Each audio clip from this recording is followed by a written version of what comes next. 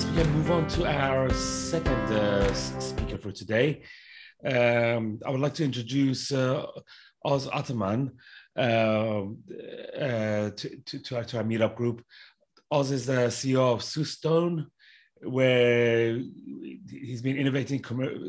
Let me read. Where, where, where we've, been, we've been intensive commercial users of Haskell for the past 10 years, focusing on production applications around machine learning, business optimization, and analytics.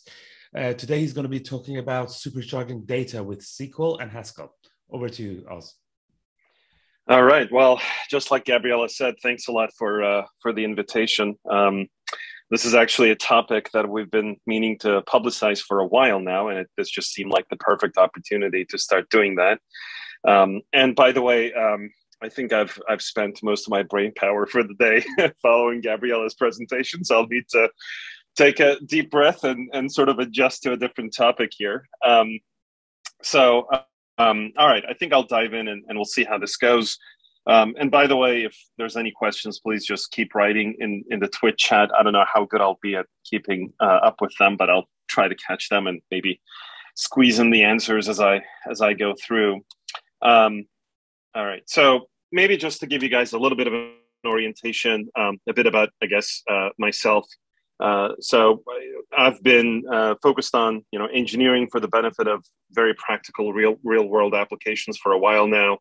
Um, it's kind of crazy that uh, it's already been 14 years or so with Haskell, and as you might imagine, pretty much all the other languages you, you get to touch over the years. Um, I founded Soostone about 10 years ago. We've been using Haskell quite heavily. Uh, pretty much everything we do in production, which is something like web APIs, database interactions, you know DSLs of various kinds. Um, actually, exactly like um, like Gabriella uh, described. You know, the intuition is when you run into problems where you feel like you could have a language expressing them, you sort of tap that, um, you know, tap that opportunity. Um, and then we do a lot of database applications, so a lot of machine learning, a lot of Bayesian model types of um, efforts. Uh, and you know try to open source whenever we could. Um, I think we have a few libraries that um, ended up being useful, um, such as Retry, Katip, logging library, and a few other things like that. Um, and ultimately, we we constantly work with data, um, which is kind of odd because we're, we're certainly a, a, really sizable part, sort of a data science type of team, you know, trying to further uh, various machine learning style real world applications. Um, it just so happens that we love Haskell um, for the production basis of, of all that work. Um, and then I'll just mention I've been spending the last, you know, I would say four or five years constantly worrying about, you know, how do you preserve high power to weight ratio in software uh, engineering and, and sort of quality of the code base um, while you still, you know, let's say you scale the team and um, you're more than just, you know, one or two people. Um, this is a real hard problem. Um, and it's been keeping me pretty busy. Um, okay, so our topic for today um, is introducing a new tool called Napkin that we've actually been working on since 2015. So another crazy fact that it's been six, seven years already. Uh, but we finally polished it up and, and made it ready for prime time, if you will, to, to share with the world. Um, and to be blunt about it, this is actually a tool that's meant for much more than the Haskell community. Um, in fact, we're almost de uh, emphasizing the fact that it's done in Haskell because we want it to look friendly and comfortable for data science and data uh, engineering, data analysis uh, types of communities. But if you happen to be a Haskeller, it gives you sort of power user access, if you will. you can do a lot more with it. Um, you know, we've spent a lot of time building some documentation for it. Um, so here are a couple of links. Um, I'm sure we'll post these around as well. Um, and a little bit of transparency. Our intent is to make Napkin free. So, you know, it's, it's forever going to be free. Um, it's totally feature rich in its own. Now we do ask ourselves, you know, maybe we should build some, you know, commercial um, web app type of layer on top that would do things for, you know, teams and professional, um, you know, circumstances. But it wouldn't even duplicate functionality. It would just be new things that matter to those contexts. So the core idea here is here's a really great tool. We've used it for many years in production now. Um, you know, hopefully the world will like it as well. All right. So what I'll do here is, of course, this is a Haskell meetup. Um, so I'll try to uh, sort of show under the cover a little bit um, and, and describe why, you know, what tricks we used in Haskell and why it ended up being so useful and so on. Um, all right. So first off, obviously not everybody, you know, might might work in data all the time. So let me try to motivate the problem a little bit. Um, so if you're if you're the kind of person or team uh, working with data, the, the, there's a fundamental challenge that everybody runs into, which is you've got your systems that that spit out raw data sets, right? So um, you know, sales transactions, member activity, event streams, log streams, you know, web click stream. You know, these are all very raw levels of data, and and you have usually pretty high volumes of this, um, and they keep coming in. Yet the analysis you want to do tend to be at a higher level of aggregation. So you kind of need to aggregate these up, maybe filter them, maybe facet them, uh, you know, maybe connect them to something like Tableau or QlikView or some fancy dashboarding application. Um, and ultimately, you can't just use the raw data directly. Um, you know, you can't just, hey, let me whip open a Python notebook, load, you know, 23 terabytes of data into my Python uh, notebook into a pandas data frame uh, and then just you know just do some filters. You know, it, it's it's it's ludicrous. It just won't work. So on the left, you see an example, a real snapshot. Uh, we tried to give away nothing confidential, and hopefully succeeded in that. But this is a data set that's very real. We can see the timestamps and so on, and we've got 40 billion rows of data in there. Um, so pretty uh, you know pretty daunting challenge. Um, and to give you a bit more of an idea as to what really happens, and part of my intent is also that if, if in your work, if you ever run into a data set that's sort of ta- tabular in nature, you know, this might even act as a super high level introduction to, you know, how one deals with that. So you usually start with, um, you know, really raw data as the first step. Sometimes you'll have a couple of main tables and that'll be it. Um, you're going to have hundreds of columns. Um, more and more, actually, it's very convenient to just jam JSON blobs in the table, uh, you know, worrying about unpacking it later. Um, and then usually what you want to do is kind of transform it into a bunch of aggregations, you know, maybe pre-roll them up to, to um, you know, certain group bys, uh, maybe filter. A lot of times between step one and two, you'll do like data enrichment. So you'll take the data you already have and then you'll merge into it through, you know, good old fashioned joins. Um, additional facts, maybe you'll you'll have some formulas you want to compute at one time at the early parts of this process. So you're downstream users don't have to keep repeating the same formula. So, anyways, you'll do that and you'll find yourself with tens of these intermediate tables um, that usually have fewer rows. You've tried to simplify the problem a little bit. You might still have millions of rows, by the way, but sometimes you'll get down to thousands of rows. Um, and then ultimately, some of these tables will be clean and structured enough that um, you know they can act as the basis for final usage of the data, if you will. So now, this could be anything. This could be fancy dashboards on, on something like Tableau. It could be uh, your super uh, great, crazy Bayesian model that'll do some kind of special inference. Um, it could be, you know, pumped into some kind of API, whatever, right? Um, so that's a that's a fairly, you know, typical topology. Of course, the interesting thing is sometimes step three will also connect back into step one. So, you know, your algorithm will produce new data, and then you'll you'll want to pump that back into your pipeline. So it's not quite linear, actually. There might be some some loops forming uh, in this type of thing. Um, okay, so the, a little bit of a, a, history. Hopefully, this will be a fun walkthrough. I won't spend a ton of time, but again, I think it's interesting to motivate the problem.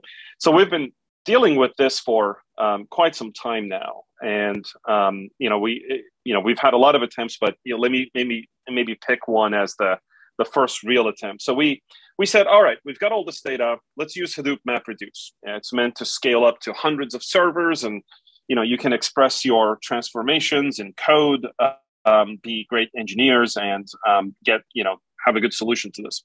And in fact, back in 2014, we made a library for this to to to help. Um, do this in Haskell called Hadron. It's still up there, um, has been unmaintained for quite some time.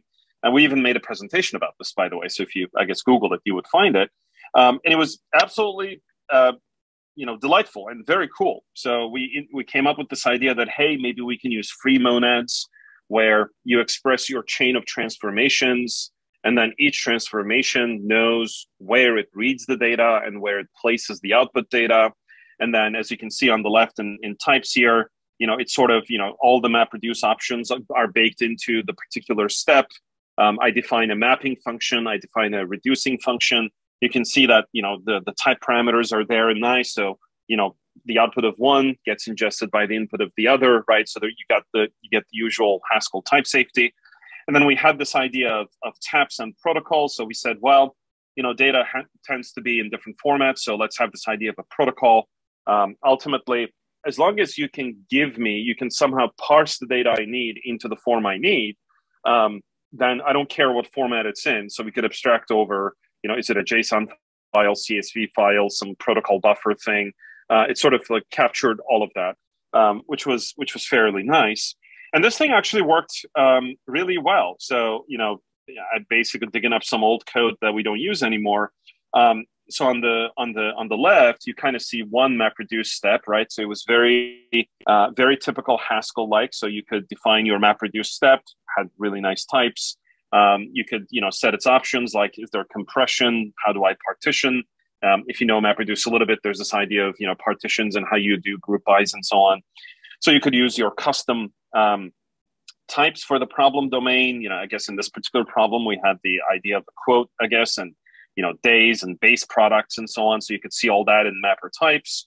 Um, right? I think we ended up using the conduit library at the time for whatever reason. Um, uh, sorry that we didn't use pipes i guess uh, gabriella but uh, um, it, you know basically you sort of express it nicely in uh, you know in sort of in haskell and get a lot of type safety out of this and then on the right the free monads gave you that flexibility to really chain all these things in a, in a program so um, if you if you wanted to do MapReduce yourself, um, you know you, you had to be very careful about connecting these dots. And you know now even back then there were libraries that helped you with this in Python and some other places.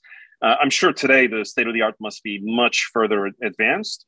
But at the time, this was actually a meaningful, um, you know, sort of convenience. You could actually say, "All right, do this step, do this step, do this step," and you could just connect them, and then the framework just handled everything for you. In fact, it also did some hacks. So the same same free monad based computation could be interpreted in orchestrating mode, where it would basically say, oh, okay, so I see the step, so I'm going to issue commands to my you know 100 servers actually doing the work. So I'm going to spit out a bunch of commands to my mappers, um, you know, get things started, and, then and it just all worked. Um, and this was pretty nice. But the fundamental problem was it was still way too slow. You know, if you're if you're uh, if you're, let's say, a data science uh, kind of shop, um, and if you do enough uh, sort of varied work, what tends to happen is you run into new data sets all the time. Um, your existing data sets experience changes in shape all the time. And actually, importantly, you yourself keep enriching your own data set. So even if you start with the same source data, you come up with additional ways constantly um, to, to make changes on the data structure. So in some sense, if every time you needed to innovate something in your data pipeline, if you had to go into you know sort of this kind of specialized Haskell and really tuned everything just right and did this massive MapReduce job and get some feedback, I mean it worked, but it certainly didn't make you an amazingly fast team. Probably faster than many of the others trying to do this without Haskell at the time. Um, but but it sort of left something to be desired. So that leads me into, into our second semi failed idea, because this actually was the hint at the right idea, uh, which was basically under tremendous time pressure. Um, we had to deal uh, with a with a pretty uh, you know basically a new business case, lots of data, and we need to make a lot happen. And right around then, we were noticing that um, analytics databases were getting very strong. So um, you know databases like Redshift, BigQuery, Snowflake, and now there's many others.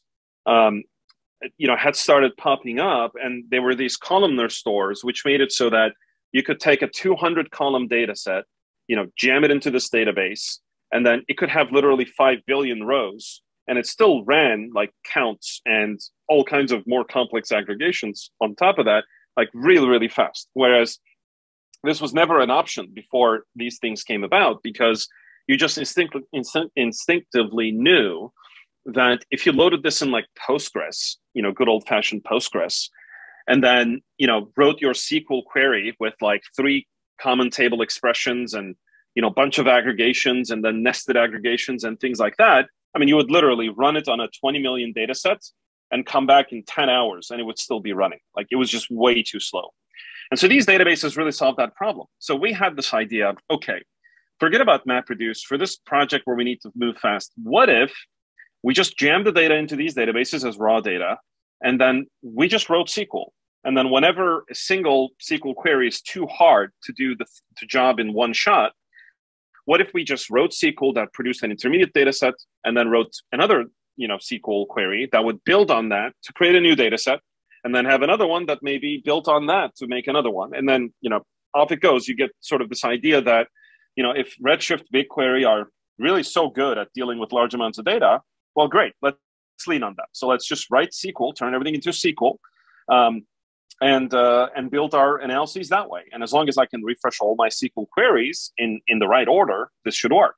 Uh, obviously, we're not the only ones that had this idea, but um, you know, certainly this was back when these ideas were coming back. You know, I think this kind of an ETL approach perhaps was popular many, many years ago before MapReduce, but now it was just coming back.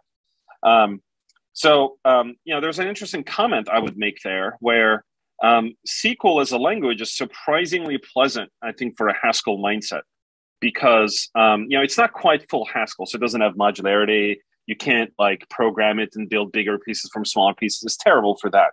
But it does have this declarative nature where it gives you the feeling that once it, let's say, compiles and you've QA'd it, right? It has a few rough corners. Like it just works. It doesn't, you know, it, it, it sort of is very self contained. You can look at a query and you know exactly what it's doing it doesn't have any side effects, right? It doesn't have any like global effects or anything. It's actually kind of local in what it does. Um, now, its inputs might change and that might blow up on you, but so it's not perfect. But there's something there that feels very Haskell like um, in spirit. So back then, what we did is, all right, well, we still have a big project to do, and we just, you know, we can't just manually run stuff against the database and not, not, you know, we're obviously we need to source control this thing. We need to make it repeatable. So we just did a super fast hack. We said, all right, let's do some quasi quoting in Haskell. You know, what if we just wrote like actual SQL, but I need to punch a little heavier. Like I don't want to type the same query 10 times with minor variations. I need to program the query a little bit. So I'm going to do the dumbest thing I can imagine. I'm just going to do quasi quoting, given some some very basic sort of inputs. I'm just going to do string manipulation, right? So we uh, so we did this. Um, it allowed us to move really fast. Um, it requires you to know SQL really well, which you know I did and others did. Um, and so you know we did it, and it actually worked pretty well. Now it doesn't really scale because it, it leaves a lot to be desired. So for example, you know it's it's only you can only manipulate this SQL query based on the sort of holes you left in it in the first place you know you can't sort of analyze it. You can't look at what table it's running on. You can't write it and say oh actually what if we ran that exact same query but just had it use a different table as its source? Because i'm trying a new idea. I just want to swap its like from uh, from thing but i don't want to like recall this thing because i made a bunch of previous edits on it and so on. All those things are are impossible. It's just the simplest form of like variable substitution type of abstraction. Um, so it worked but left a lot to be desired and then there was the the second question where once once you start doing this, um, well, you spin up a lot of tables. So now you're asking, well, how do I refresh these things? Um, you know, how do I make sure they're refreshed in the right order? An easy way to do that is always refresh the entire pipeline. So literally, let's say you made a change in your code, you're trying a different logic for your analysis. Just to be sure there are no stale data leftovers, you would literally say refresh everything. So delete all the tables and then start from the beginning and like refresh the whole thing, which works just fine when you have like three tables. But as you get to like 20, 25 tables, it's just, it's horrible. You, you want to be able to just surgically refresh one table, but also know that if that's refreshed, then it's downstream um, sort of impact area also gets refreshed and so on. So essentially, this project, I, I remember distinctly, left me thinking, man, there's really I think we should probably make a library for this and just do this a lot better. Um, but there was a pretty big revelation at the time for me. Uh, again, I'm sure others had it too, but but this was our our own way of discovering it uh, by ourselves. It was like interesting. You know, th- this is so convenient. You know, you get this sort of regenerative pipeline where, as long as your your your source data remains in a table completely immutable, you never mutate it. It's it's just there, and then you can build these steps of transformations using SQL as your language. Um, and then these modern databases are so freaking strong that you know you ha- you now have a data solution for a thousand rows, for a million rows, and for you know ten billion rows. I mean that feels really good because you feel very empowered. You know you basically don't fear data anymore. Any size, you're happy to deal with, no problem. Um, so um, that led into basically today's today's main topic, which is a tool we created called Napkin. Uh, the original idea came from you know it's sort of a back of the napkin calculation. um, so so that's that's where I guess the the idea for the library name came from. Um, but so you know the short of it is like what if um, what if we can have an actual Haskell AST uh, that could you know express SQL queries so you could you know program in it if you wanted to. Uh, what if you could parse good old SQL into it and then you could render from that back into good old SQL? So in a sense, I just want to use Haskell to programmatically go nuts on the on the query definition, and then I just want to call render on it and get a get a full you know SQL statement out. Um, and then what if we could express not just one query at a time, but we could express a whole network of tables that are kind of created and refreshed this way, right? So now it's starting to feel, I guess, I mean, it's basically a directed acyclic graph, right? It's your typical workflow DAG.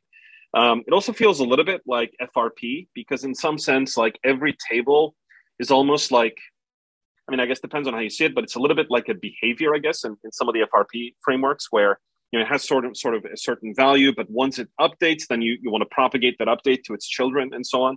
So has that has that feel to it. Um, what if while we we were at it, what if we did all the orchestration on the pipeline refresh? So um, just get that out of the way too. So you could just call Napkin and it would just kind of handle all the data refresh for you.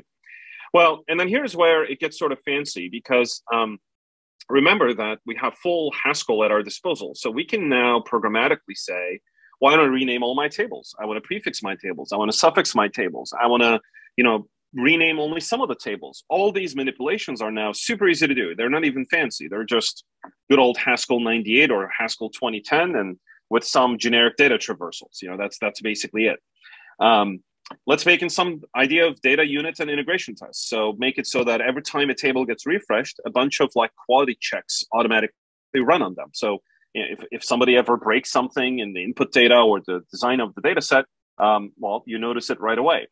Um, and then, you know, here now we're getting like really uh, fancier, which is well, let's also support multi-operation tables. So it's not just here's a query that defines a table, but what if you could encapsulate as an operation, you know, delete the last seven days of data in a table, um, go, you know, query some other table. Actually, it's, it's different. Go query another table, create a temporary table with the last seven days, then um, atomically basically delete the data, um, you know, in the destination table from the last seven days and input the temporary table into it, clean the temporary table, do some swaps, make it as atomic as possible, even though sometimes it's not perfect. Um, but sort of get this ability to do fancier operations, right? Maybe you can, for example, I give you a table, you give me a table that has a delta in time traveling encoding version of that table so that I can actually, so it's only a write, it's a write only table, but I can go back in time to say, what did the data look like, you know, 10 days ago? I mean, these are nothing rocket sciencey about this. It's just basic operations. But having a framework that can do that while remaining fully analyzable and introspectable was kind of the cool thing that um, I'll talk about in a second that, that Haskell really gave us a leg up on. Um, anyways, ultimately, Napkin was born uh, 2015. We've used it a ton in production since then. Um, and just about a year ago, we finally had the idea that, well, hang on, you know, we use this a lot. We should probably do more with it. You know, maybe we can put it out there and have more people use it, um, it would be really fun, a contribution to the data science um, ecosystem. Uh, but also, yeah, it might even be a gateway into Haskell because um, you know Napkin tries to hide that it's based on Haskell, but there's like this power user section. If you know Haskell, you can do a lot more with it. All right, so um, I'll walk through some a couple of philosophical choices that might be um, perhaps interesting to, to folks. So probably the earliest decision we made was to keep its types extremely simple uh, in the core layer. So I had previously spent a lot of time, uh, like many others in the Haskell community, um, you know, very heavily typing database interacting frameworks. Right. I mean, today there are very good ones that really do work really well, um, like Beam, Opaleye, um, you know, many others that that that that I could recall if I tried to. Um, and these things are great, but they are, you know, first of all, when I tried to do things like that, I had the following challenge. So because maybe we work in a, you know, very data sciencey sort of environment, in our world, da- data sets are both very varied. They're also very large. They have a lot of columns and they change a lot. And you get new ones all the time. So if you get into the business of being very careful with your types, it really slows you down by like a factor of five. In fact, to the point where your team just doesn't want to do it. They would rather just write totally untyped SQL than to deal with that level of sort of type complexity.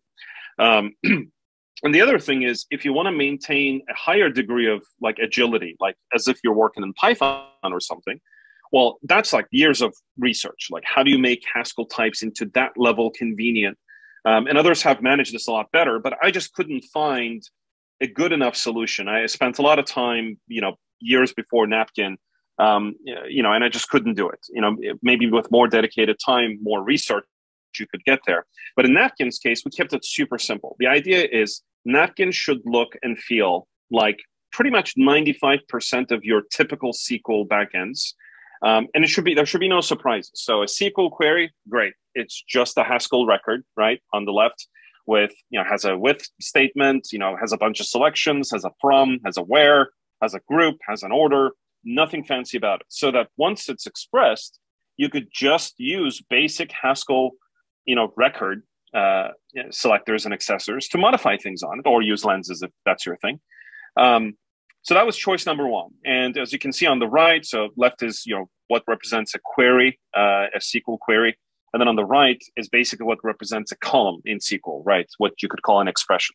So that also was very straightforward. It could be a literal, it could be a variable, you know, it could be an array. And now some of these modern, fancier databases have more complex composite types. So we tried to uh, support that over time.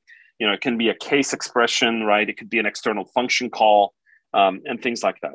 And distinctly, we also made one other philosophical choice, which I actually really care about. And I, I'm sorry to keep inserting this, but when I run into a library that hides its internal modules from me, I absolutely hate it. If I really don't need the library, I literally stop using it because I hate this gatekeeping of um, there's something I need to do as a power user, and you're literally preventing me from doing that in the name of hiding your interface. You should always let me. So Napkin has this philosophy of look, we'll give you the nice way to do things. But if you literally cannot manage it using Napkin, here's an escape hatch. So you can actually jam in raw queries, and this is sort of user beware, right? You could really fail at this thing, but it is possible. You know, we're never going to make things impossible to do for you. Um, and in fact, we even add a, a native AST um, escape hatch. Um, so, for example, if you're using a database like Postgres and there's a, let's say, native Postgres parser that has all kinds of fancy features that other databases don't support, great. You can actually you know, skip napkins parser and AST and drop directly into the native uh, native sort of parser. Um, okay, next up, we gave it a monadic interface. So again, uh, the presumption here is that you really know SQL. You know, you're not, you know, we're not trying to teach you SQL. We're not trying to hide SQL from you. The presumption is that you already are fairly good at SQL. It's just that you would like to do it in Haskell so you can manipulate things. Um, but and if you squint, that's how it sort of looks, right? So you can do from, you know, here's a you can do a from a table like thing. Uh, you do a where a predicate like thing. Um, you know, some conveniences like this is very common if you write out a, a lot of SQL, uh, you'll hate it over time. The fact that SQL forces you to select something only to then group by the same thing. Like what the hell, you know, that repetition drives you crazy. Um, so, so we have some combinators to you know both select by the thing and then group by the thing in one shot. And then here's the beautiful part. Because you're in haskell and because this interface is basically a what i guess what you could call the deep embedding of sql on haskell um, well you can just do al- arbitrary algebra right? So you could make expressions make bigger expressions from those get bigger expressions from those. You can have all kinds of intermediate variables all of this is, is, is haskell and ultimately, when it's later rendered, it gets fully expanded into normal form, right? So it doesn't do anything fancy; it just fully expands it, and you get this gigantic SQL query at the at the output layer. Um, and so, you know, here's again an example, trying not to betray anything too uh, too confidential, but wanted to give a real example. Um, so you can um, basically do arbitrary things in this, and it all renders to nice SQL. Um, I say nice; it actually doesn't look that great, and we need to improve this. but um, ultimately, it renders into correct SQL, let's say. Um, but you know, certainly, uh, its formatting can use some help. But you'll notice a few things. You know, here, for example, you you never see anything about like safe divisions. You know, there's nothing. You know, if you're a professional analytics person, you'll find yourself writing SQL that'll do things like, well, safe divide by, because if the denominator is zero, you don't want the thing to blow up and make your calculation incorrect. So you'll you'll guard against all these edge cases. Well, the nice thing is, you know, in, in Napkin, because we're using Haskell, well, you can have these individual like combinators bake in such protections. So once you get used to them, you don't have to think about them anymore. Yet when they're rendered, you'll notice that there's these like safe divides all over the place and some like predicates that you know do certain value checks and so on. So in a sense, you can get rid of all the annoying parts of SQL just write the nice looking one and then have napkin generated for you um, and it all sort of works. Okay so a couple more um, layers up the hierarchy. Um, and by the way if there's ever any questions please just uh, you know write them in uh, you know in chat or something like that and i'm and i'm happy to uh, find a way to incorporate them into into into my talk here. Um, but so if we think about the abstractions here, there's there's something like three steps you wanna um, you wanna be able to do in practical use of this. Well, first, ideally, we give you a nice way to define one query, right? So whether you want to write it in good old fashioned SQL and then parse it into Napkin, or whether you want to use Napkin's DSL to write it in Haskell that looks like SQL, but then you know it gives you all the additional power. So that's step one. We kind of give you a way to express a query. And then the next layer up is now we need to give you a way to have arbitrary database interacting pro- uh, programs, right? So, you know, send the query, look at the response, decide something, send the next query, look at the response, decide something. So, or maybe ask the database for the schema of a data set because maybe you'll act differently based on the schema of the data set, right? So we need to give you the next layer of abstraction. And then once you have that ability, now we need to give you the final layer of abstraction, which is sort of like this full DAG network where you can express all right, I'm doing a project or I've got a product that spits out a bunch of data and I want my product to have a dashboarding functionality, but a bunch of transformations need to happen to support the dashboard. Um, great. I can, I'm going to express the whole thing as this full DAG. Now I have a super tidy way to say refresh everything, boom, and it just it just propagates all the way. Um, so let's talk about the next layer up the chain of abstraction, the second step, the database interacting programs. So here, um, I, I, think we have another interesting case, um, which in our case, it's sort of the free monad idea again. Uh, funny enough, without trying, uh, I think we stumbled back into our, you know, whatever 2014 ideas. But this time we decided to use polysemy. Um, to be honest, you might say why polysemy and, and, not something else, and the answer is, you know, we were a little com- uh, com- uh, sort of, um, I guess, familiar with it already, and it was comfortable and uh, and this is a use case that actually doesn't have to worry too much about um, performance. Um, I know Polysemy had you know, some back and forth about performance that I'm not even super up to speed with. But for us, the key requirement was we wanted to be able to define pretty clearly the operations you could do against the database or in napkin circumstances and have full introspection power. So that was the point for us because we needed to be able to take this thing, um, you know, let the user write it, but then dry run it. But not only that, basically analyze it without running it so that we could say, oh, what are the tables they're using? What are the queries they're issuing? And what are the tables those queries um, are using? Um, are they doing any destructive operations? Is it all read operations? Do they do any renames? So we basically Napkin's broader functionality really wanted to be able to understand before things happened what was going to happen against the database. And so, again, the effect systems make this pretty nice. Um, I wouldn't claim that this is the only way to do it. There's probably other ways to do it, but but we could make it work pretty nicely this way. Um, and it's and it's been working pretty well. So to give you an idea, all the things you see on the left are um, what you could call effects that Napkin uh, exposes, right? So in some sense, these are things you can do against databases. So ballpark, right? You can do assertions. Um, there are some backend specific capabilities. Um, you, you know, you can load queries. Um, you can load a local file. You can log something. You can recreate. Essentially, that's like a special workflow. You can parse SQL. You can, you know, set, read SQL. Uh, most importantly, you can do SQL like read and write operations, and that that's actually a good example. So that's what we're expanding here. So the SQL write operation, to give you a really tangible idea, you know, it can do basically most things you might imagine uh, a database interacting tool needs to be able to do. So it can, uh, you know, create a table from a query definition. It can, you know create a view from a query definition. It can insert into a um, insert into a table um, based on the results from a query. You can update a table, rename a table, copy drop view, uh, copy drop table or view, um, and, and delete from a table. Right. In the future, we might add more to it, but in some sense, these are all the all the things um, um, that you can do. Um, you know, basically using Napkin. Um, and just as I say that, I actually saw a question. So let me divert with that. So the question is using this tool, would it be possible to automatically migrate columns from using sequential IDs to UUID?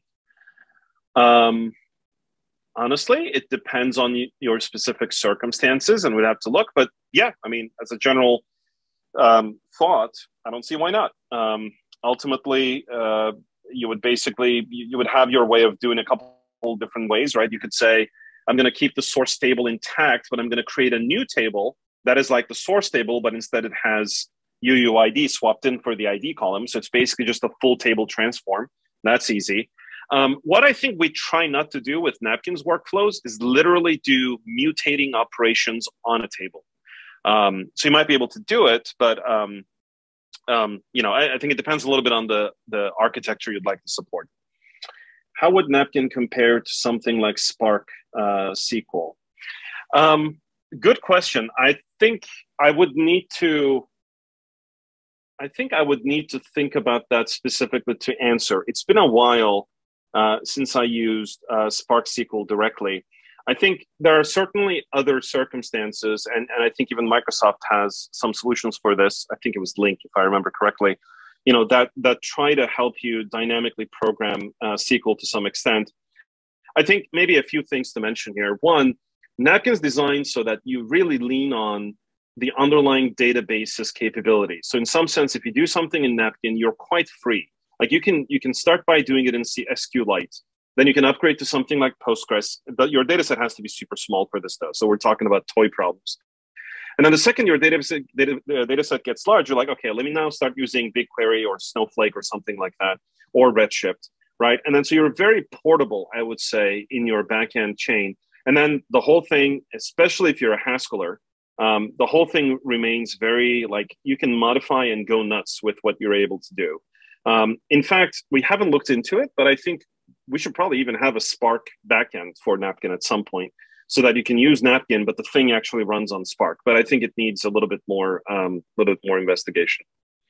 Um, okay let me see. I think there's an addition to that note. Does the db interpretation of a pipeline build up large nested query and let the database optimize once or materialize intermediate data and handle optimizations across the queries itself?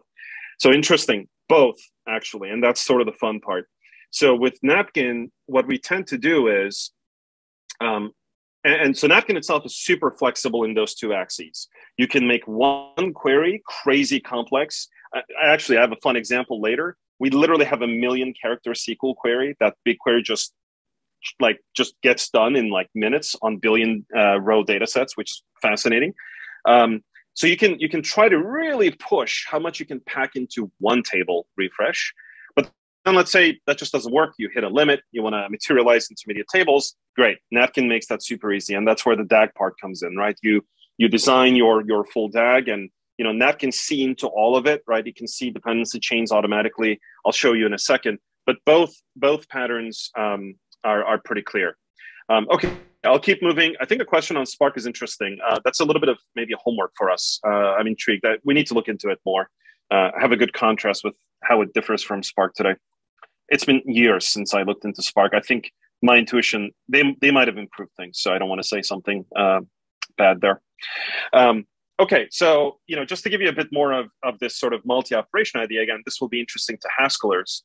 Um, you know, because we have this effect system, even if you do something like, hey, I want to I want to have an incrementally inserted table where by primary key, every time I run it, I'm only going to look into the last seven days, and then I'm only going to up update my thing on the last seven days. Um, but you know, there's going to be some nuance on there's a primary key. So look in the last seven days, find the new primary keys that got introduced that I didn't have before, and remove all the primary keys that went away. So you can do all this, right?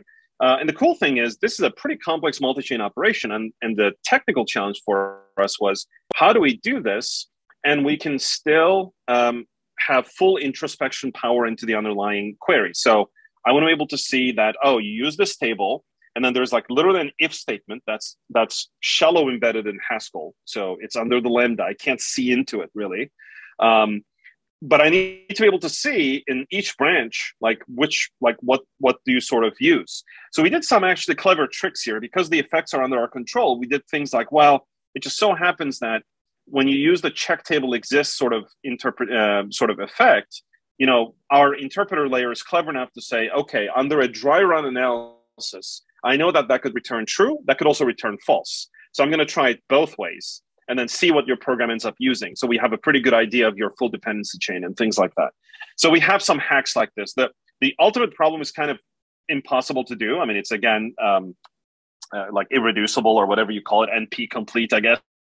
Um, but um, but we have some heuristics that that get us get us there pretty pretty efficiently. Um, okay, um, new question. Let me see. Will there be support for other database languages like Cypher used in Neo4j, joinless SQL used in Scylla Cassandra? Hmm, interesting. I would say um, it's not currently on our immediate roadmap, but fundamentally, um, I don't see why not. I think it's worth thinking about.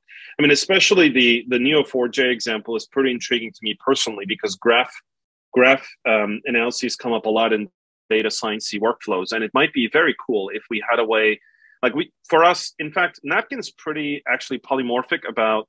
Uh, at least nowadays, about the dialect of SQL that it uses. So it can even say it has the concept of a I'm going to use the Napkin's own SQL representation versus native Postgres versus native SQLite and so on. So with a little bit more of a refactor, I don't see why we couldn't say, well, actually, it's not about SQL per se, but you know, we just need a way to speak to the database. And so we could start speaking totally different um, query, um, I think, dialects. But to be blunt about it, it's not immediately something we've been planning, but it's an intriguing thought, maybe homework number to, to two to, to think about it. Um, all right, so I think I'll, I'll keep going. Um, so just to give you an idea, we, we baked in a bunch of these more advanced operations that, you know, if you use Napkin, you can start using right away. So we have some cool things like what if you make a query you know, because you programmatically generate these, you tend to have massive queries. And also to the earlier question, what if you have a query that has like literally 200 union statements? Um, and what if, um, well, and then you send this to BigQuery, and BigQuery says, query too large, I can't run this. You're like, okay, I got to break this into pieces. So, for example, we created a sort of an analyzing, uh, you know, basically an analyzing optimizer, if you want to think of it that way. You give it a fully baked, massive sort of table refresh program um, it will go sift through it, detect queries, and then it's find where it'll find where the top level unions are happening, and it'll like split them into pieces. So it might turn a 200 union into like basically something like 20 incrementally inserting union interactions, each one containing I don't know five or something, five unions. So it can do this automatically, and that's that's kind of the really fun part of this. You, it makes your your SQL pipeline fully introspectable and modifiable on, on the fly. And then we have a bunch of other combinators baked in. And the cool thing is all of these are implemented just using the um, the, the effects layer. So there's nothing fancy in this. As the end user, you can invent your own ways of doing incremental insert, um, and it would just work fine. It would just use the effects layer that Napkin exposes.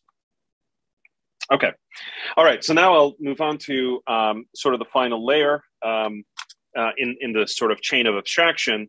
Um, which is sort of this you know dags portion you know orchestrating the whole pipeline you know, to the earlier question you know you can make each each table super complex but at some point you can't just have one table you need to have multiple tables uh, relying on each other um, so here's what napkin's able to do uh, let's say you let's say you, when you start you don't want to learn napkin's dsl um, and you just want to write sql because you're used to it you're familiar with it um, so you just do napkin init it it starts a new project structure for you and then there's a SQL folder there. You just start throwing in SQL statements there, right? You just you, you imagine in your head, okay, I'm going to have a table that does this, then I'm going to have another table that uses the first one and the original data set. It'll keep going from there, um, and then uh, and then and then basically, um, then you say to Napkin, hey, could you just infer the initial uh, what we call the spec file, where you as the data scientist or analyst you, you, get to define your kind of choices and options for each table it actually goes in there looks at all the sql files because it can analyze sql it figures out cross dependencies builds a dag out of it and then it infers a starting point YAML file for you. And again, YAML because we don't want to scare non-Haskellers. Um, honestly, um, I think probably in the future we could have a Dhall version of this, um, and, and, certainly there's a Haskell version of this too, where you can actually express your spec as a monadic Haskell value. So if you're a, you know if you're an actual Haskell team, you don't need to use the YAML file at all. Um, there's like a Haskell entry point to this. Um, but we made a YAML version because again, we don't want to scare um, non-Haskell communities. Um, but it infers all of this automatically for you. And because it sees into dependencies, you never have to define them. So you just say, you know, for, you pick any, for example, sales by country table. You just say, okay, I want it to be created based on this SQL file. By the way, after you run it, you know, please perform some assertions for me. I want to make sure that I'm unique by country. That you know, I better have less than 20, right? And we can actually get super fancy with these things. Um, you can have some pre-hooks for quality quality checks, uh, and ultimately, you know. And then, by the way, you can get your DAG too. So, you know, eyeballing the DAG is super helpful. Uh, you know, it might point at typos you may have made and so on. Um, so we spent a lot of time on these on these cosmetics. Um, another thing that's really useful as part of that is uh, Napkin has a GHC, GHCID style validating loop. So you basically say, like napkin validate dash interactive or dash i. Um, and then what it does is it literally scans your entire project all the time, very GHCID style. And then as you modify any SQL file, uh, or as you modify any Haskell file, even, uh, which by the way, it has a Haskell interpreter in it. So there are some hacks there. So we, we can even live interpreted Haskell files. And we did some hacks to make that fast enough because on very large pipelines, it would take literally a minute um, and, and, and effort was put in by our team to get it down to seconds again. Um, we do some caching and things like that. Um, but it's this is super helpful. So you, you basically get into this like validator loop, and then you work on your pipeline as you make little edits on your SQL file. Um, you get sort of this live check on whether whether the whole thing clicks together reasonably um, ac- across the board. And so something really cool, by the way, is because because Napkin can see into your SQL files, um, you never have to pollute your SQL with like weird um, artifacts from the framework. So, for example, um, you know, Napkin has, you know, certainly there are other tools out there that are even very different from Napkin that have the same idea. Well, let's make SQL a little more programmable. What they'll do is they'll have you insert special characters or special variable references and so on in SQL. Whereas in our world, we don't have to do that because we can actually read your SQL and understand how these things are connected. So you just write SQL like you would otherwise. Um, so that's pretty cool. Um, and then ultimately, Napkin itself is just a is just an executable. So we package all it up as a Napkin, the command line program, and um, you know it, it's it has lots and lots of features. So you know everywhere from Napkin init to Napkin validate to it has a REPL by the way. You can do Napkin REPL and drop into just to make interaction. It's basically GHCI, but with Napkin stuff loaded in. Um, so you can you can use some convenience functions easily.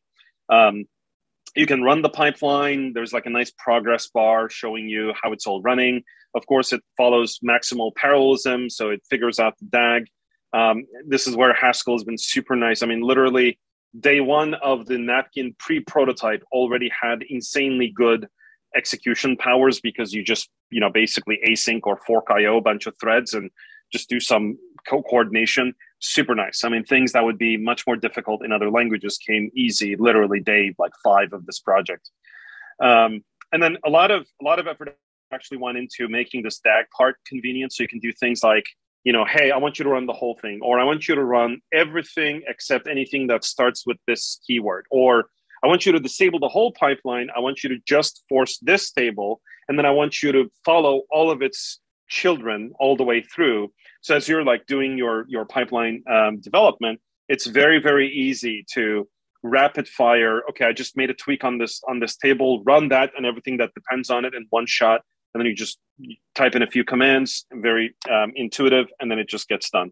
Um, really really convenient. And today, by the way, the way you deploy this is also actually fairly straightforward. You just um, it's just an executable, so you can you can deploy it all the way from a cron job to a you know an ECS task or something if you're using uh, using Amazon. Now we want to make that part a little bit better, but the core capability is so you know self-contained that there's really no magic to even deploying this. Uh, it just remains very easy. Um, all right, so I'm about to close in a little bit. Um, but just to give you guys, um, you know, an example of the some of the, I mean, we've done a lot of crazy things with this, but I think one of the one of the proud moments. So in our work, we have some proprietary machine learning algorithms we wrote, and in one such example, the algorithm itself is actually in Python, but it exports a, a, a JSON payload, which is regular enough that you can read into Haskell. So we wrote the Haskell types and parser for it. So literally, Haskell can do predictions even though you do the training in Python. Uh, perhaps a little weird, but worked out that way. Um, well, here was the idea. Because this is a tree-based algorithm, what if we wrote an interpreter for the prediction in Napkin as SQL so that um, this custom algorithm we had could batch predict through BigQuery. And the problem was we have these multi-billion row data sets. And if you try to like, let's say you try to predict this in, in Haskell or Python, I mean, this will take days and you'll you'll need to boot lots of servers and coordinate i mean it's you don't even do it you usually just subsample and then you just predict it for a million and hope that the results are the same um, well the cool thing is you can actually write and i'm not showing the body of the function but i'm giving you the type signature. So you can see you know here's where the model file is you know the model you know here's the types about the model.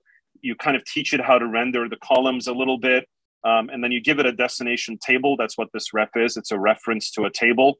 Um, and then boom, it gives you a query. Literally, it's a SQL query, such that if you run it, it predicts on a billion rows. Um, so this thing actually renders into, depending on how big the model is, anywhere from 500,000 to a up to a million character SQL uh, query. By the way, why up to a million? Well, this is also how we discovered that BigQuery won't run things that are greater than a million characters. Um, so there's some model complexity currently.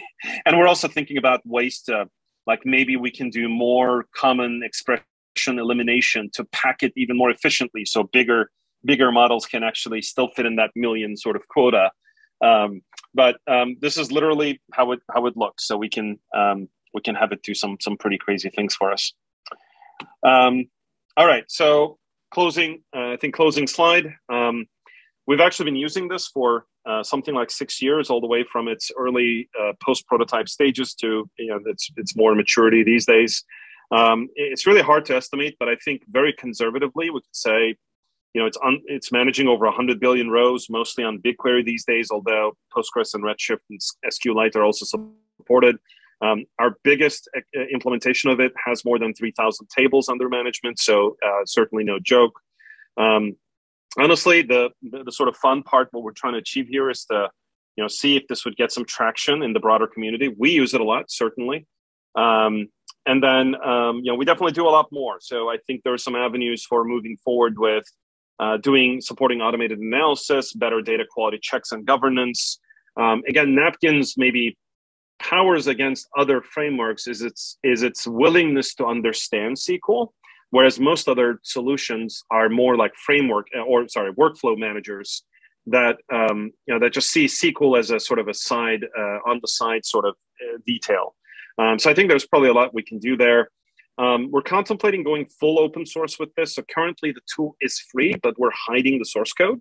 Um, I think there might be a value to open source, but we just need the licensing right. So um, it, it clicks with our rest of our plans. Uh, to be honest, though, Napkin will always be free. So that's we're putting it out there for free, whether the source itself is visible or not. Um, it will be free. Um, and then we, like I said, we are thinking about maybe we can do a web app on top of this that could really add some interesting um, additional value. All right, that's about it. Um, with that, um, thanks for listening. I'll open up for questions. I see that a question just came in, so let me maybe hit that immediately. Um, so does Napkin have native Apple Silicon binary executables for my development workflow? And the answer is I really want to say yes, it very much works on Apple's new M1 computers because some of us actually have that. Um, I am trying to remember if that happens through an actual na- native binary or the Rosetta uh, emulation thing, but it 100% works. In fact, the machine I'm presenting on is M1. Um, if you go to docs.napkin.run, we spent quite a bit of time. There's actually a, a, sample starter project that's open on GitLab. You can just git clone it. If you use VS Code, you can drop into a dev container. Literally within seconds, it'll just come preloaded everything. Napkin will be in there, an example dataset will be in there. You can just follow the tutorial, click around in the code base. It, it just works. Um, and it, it works on this machine. So you know, through Docker it works. The binary installer should work for M1. Um, but I would have to ask one of my colleagues uh, to remember if we solved the native binary problem yet, or are we doing through Rosetta? Um, but maybe that's a minor detail. It works either way.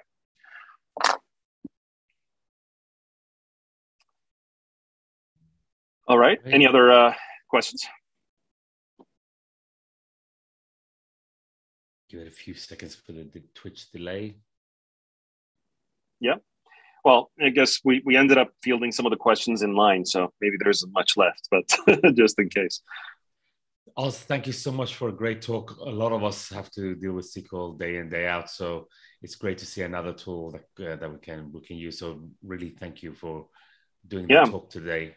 My, my pleasure. And let me, if you don't mind, let me just insert. Um, so we are going to be pretty community uh, open and driven on this. So we already have a Slack channel for it. So if you go to our website, go to community, you'll see the the Slack channel. Um, actually, the matrix is a uh, is a fun idea. We might end up creating a matrix channel as well for this. Um, you know, just got introduced to it as part of this talk.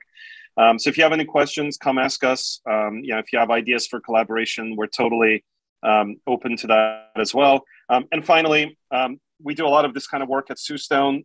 not to be cheesy about it, but we're always on the lookout for uh, fun colleagues to add to our team. Uh, you know, these days we're actually are actively recruiting as well. So if you think that there might be some kind of uh, an overlap there, just hit us up. Um, pretty much anyone at Soostone would be a good entry point, but you can you can just directly uh, reach me as well, um, and uh, you know we can talk. Awesome, awesome. Thank you so much to both of our speakers. Really appreciate it. Uh, I am working on another event for May stroke June. I'll announce it on Meetup uh, as soon as I can. And if everyone can visit sfhaskell.com, you'll see we have links to our YouTube channel and our PeerTube channel. Recordings of today's uh, talks will be on there. I'll announce it on the on Twitter uh, when it is. And um, yeah, the, other other than that, uh, thank you all for taking the time to attend today. Thank you to our speakers, attendees, thank you, Ryan, for help uh, moderate events, help me to moderate the event as well. And have a great Easter weekend, everyone. Thanks all.